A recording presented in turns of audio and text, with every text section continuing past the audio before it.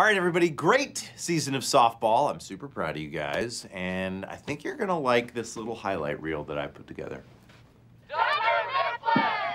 Andy Bernard presents Summer Softball Epic Fail.